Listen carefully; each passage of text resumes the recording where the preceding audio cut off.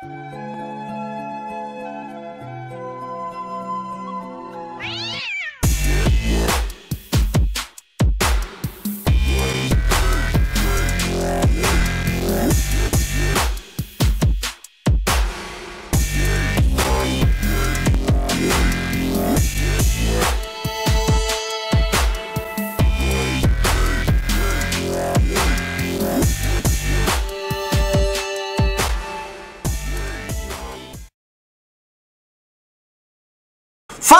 beleza? Eu sou Marcelo aqui Panela, estamos aqui para mais um vídeo no canal, né?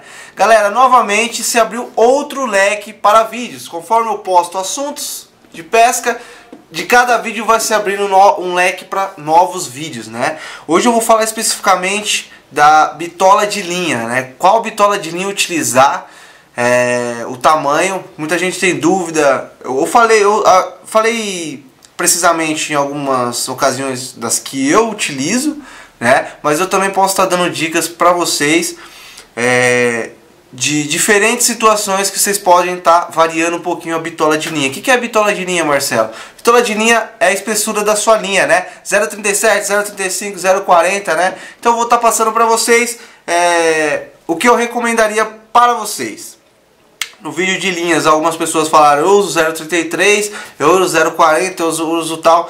Isso, galera, como eu sempre falo, vai de gosto, né? Eu sempre exponho o que eu utilizo, o que eu recomendo. Sim, existem linhas melhores do que a Duranio, sim, existe... É... Dá para se usar linhas com bitolas menores, sim. Eu não utilizo, mas dá para utilizar. Eu vou estar tá passando aqui para vocês é, diferentes situações, né? Bom, vou começar com o tradicional que é a carretilha perfil 200, né? Essa carretilha é uma carretilha que você pode estar tá colocando aí o que você quiser. Mas eu recomendo, né?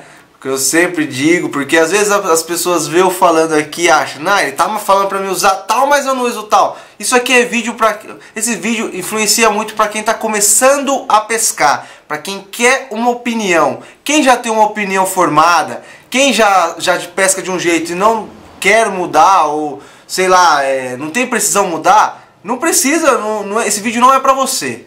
Esse vídeo aqui é pra quem tá começando, pra quem tem dúvida de qual bitola utilizar e de quem quer uma opinião, certo? Eu, eu não obrigo ninguém a ver os vídeos aqui, então vamos dar uma segurada nos comentários aí, rapaziada. Bom, vamos lá. Primeiramente, carretilha perfil 200, beleza? Essa carretilha é uma Scorpio, para quem tiver dúvida do modelo. É, carretilha perfil 200 normalmente vai caber entre 100 e 110 metros de linha, né? Algumas um pouco menos, né? Então tem que ficar um pouco atento quanto a isso. Mas assim, no geral, eu recomendo uma 037, que é a que eu utilizo. Marcelo, quero usar 035, quero usar 032, né? Se for utilizar, use de uma marca um pouco melhor para garantir que seja mais resistente se não, galera, é, eu recomendaria vocês é, forçar um pouco menos o peixe.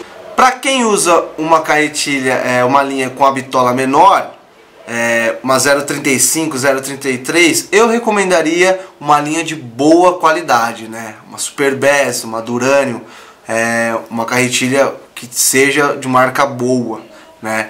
037 já é o padrãozinho que eu utilizo, né? Você tem mais opções, a galera comentou F2, é, sei que seja linha soft, uma, tem uma, várias linhas soft são muito boas no mercado com preço legal.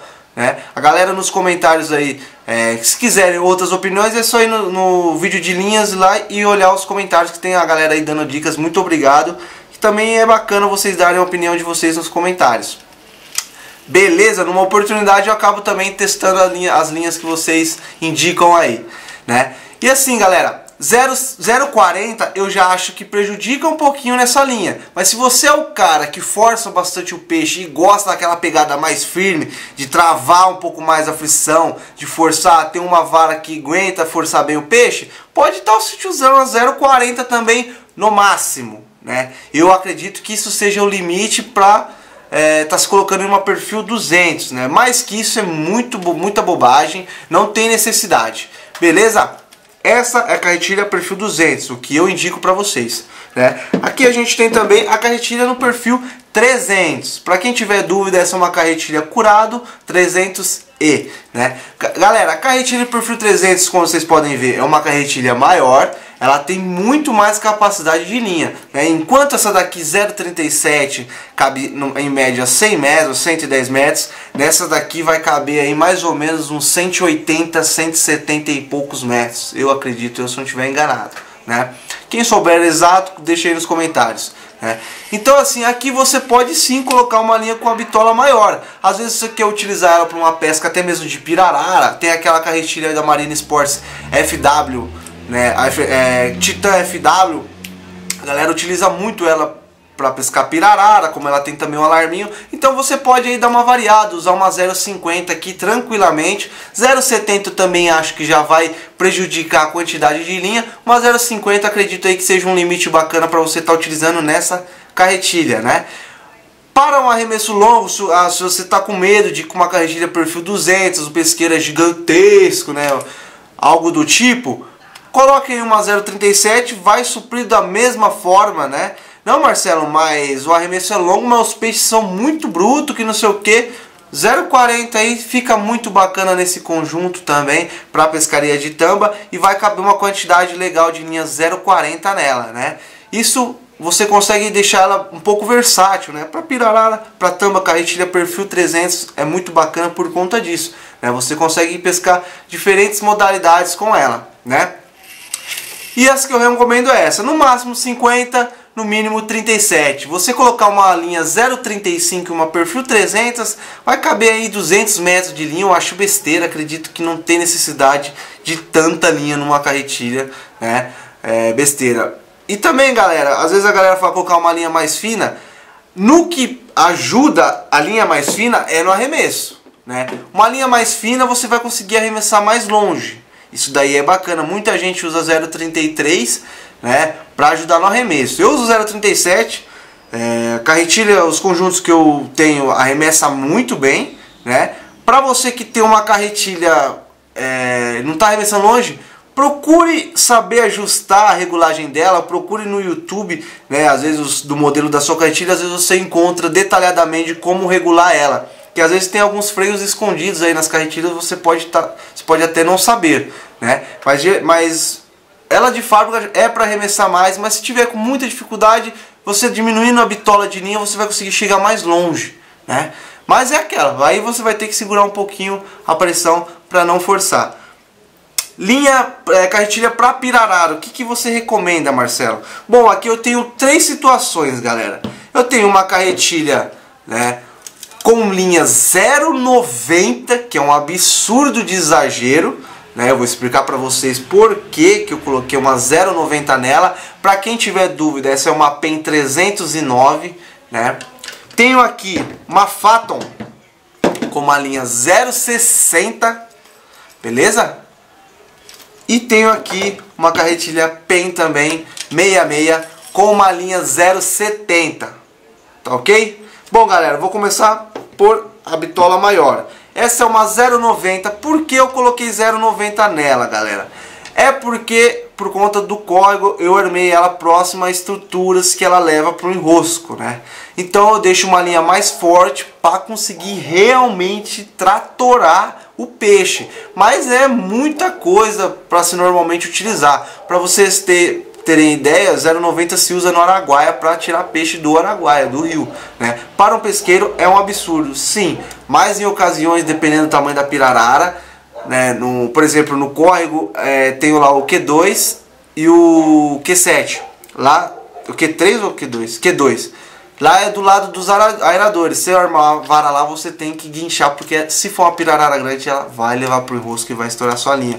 Então, eu deixo uma linha mais forte, com uma vara mais pesada, mais parruda, para realmente guinchar ela sem dó, sem piedade, para tirar ela do enrosco. Né? Ah, Marcelo, você arranca a boca da pirarara. Não, a boca da pirarara é completamente óssea. Né? Eu falo forçar, forçar, mas para não ter o risco de é, estourar numa puxada e até mesmo se ela levar para o enrosco eu tenho uma linha mais resistente, né? É, para trabalhar e tentar fazer ela sair do enrosco. Mas mas muitas vezes em muitos pesqueiros uma linha dessa grossura vai espantar o peixe, né? Sim, às vezes isso influencia também. Beleza? Aqui eu tenho na Faton, galera. Essa Faton é até do Adam que está comigo. Por que umas linhas 0,70, né, galera? Linha 0,60, desculpa. Uma linha 0,60. Porque essa carretilha ela tem um arremesso muito bom, né? E o Adam geralmente pesca com ela arremessando. É, ele até tirou guia fio para ficar melhor o arremesso. E uma linha menor vai bem. E 0,60 aguenta sim pirarara aí. Você consegue tirar tranquilamente, né? Só respeitar o limite dela beleza? É sempre respeitando, sempre sentindo o peixe, sabendo o equipamento que você está usando, né? Por isso eu uso 0,60 por conta do arremesso. Essa é uma linha Camonline, né? Conhecida aí no mercado. Essa daqui é uma linha... Vixe Maria. Essa daqui é uma linha Max Force, galera. É uma linha barata, para linha com bitolas tão grandes, principalmente para pirarara, besteira comprar linha muito cara, linhas importadas aí, Topperson, é, linha barata suficiente, por ela ser uma bitola grande, ela vai ser forte, isso não tem importância. É, Max Force e essa 0,70 aqui, galera, eu utilizo em geral, né? É também uma Max Force, eu utilizo em geral em todos os pesqueiros, é uma linha, acredito que uma bitola mais é, padrãozinha aí para pesca de pirarara, não é nem tão grossa nem tão fina e não espanta tanto pirarara. Dependendo do lugar, você às vezes monta até uma linha com chicote menor, de tão manhosa que é a pirarara. Né? Essas são as linhas que eu recomendo. Marcelo, quero pescar com 0,35. Vá em frente, meu amigo. Você faça o que bem entender com equipamentos de você. Você vai ter um trabalhão, porque você sabe que pirarara é um peixe bruto e precisa de um certo equipamento um pouco mais bruto para retirá-las. Tira no equipamento menor? Eu já tirei pirarara no Córrego das Antas com uma vara 2,10, uma critezinha sem break com uma linha 0,35. Já tirei. Dá para tirar? Dá, só que você vai brigar, vai ser uma briga cansativa, né? Você não vai brigar de igual com ela. A pirarara normalmente sai muito mais rápido do que um tamba, porque a, a briga dela é pancada, é, um, é uma força contra força. O tambacu é um peixe mais forte do que a pirarara. Em questão de em relação a tamanho e força de tomada de linha, a pirarara ela leva, mas ela sai muito mais rápido do que um tamba. E com equipamento leva, você vai ter uma briga longa aí de vai e volta, vai e volta, porque você não vai ter condições de forçar legal ela. Beleza, galera? Essas são as dicas de tamanho de bitola de linha que eu estou passando para vocês. Lembrando, são minhas dicas é, do que eu utilizo. Não estou falando que vocês têm que ser assim, que o certo é isso. O certo para mim é assim. Não foi coisas que eu inventei, foi coisas que eu adquiri com a, o passar do tempo, né? É, a gente vai constante evolução, não inventei nada, eu aprendi assim como eu estou ensinando para vocês. Eu pesco, ah Marcelo, quem são os seus cabeças? Todo mundo que eu conheço, eu procuro buscar informação com pessoas que já têm uma história na pesca para quem conhece o Adam da pesca aí mais ou menos uns 15 anos em pesqueiro, né? Em pesca esportiva de pesqueiro, 15 anos, isso é muita coisa. Quem acompanha ele no Facebook sabe que o cara é foda nas pescarias. Não pago pau pra ninguém pescando, mas aquele cara ali, eu tiro o chapéu.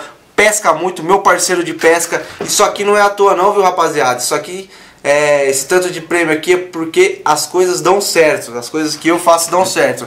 Quem participa de torneio sabe que isso aqui não é fácil não, certo? E eu aprendo muita coisa com o Ada, ele é um cara que me ensinou muita coisa e tô passando agora pra vocês. Beleza, galera? Pra vocês arrancar aquela panela Topperson. Firmeza? Vou ficando por aqui. Tamo junto. Deixe seu like, se inscreva aí no canal. Ajuda a família aqui panela a crescer. Até o próximo vídeo. Respeita a minha história. Antes de bater no peito, julgar, baixa a bola, procure saber que eu sou minha trajetória.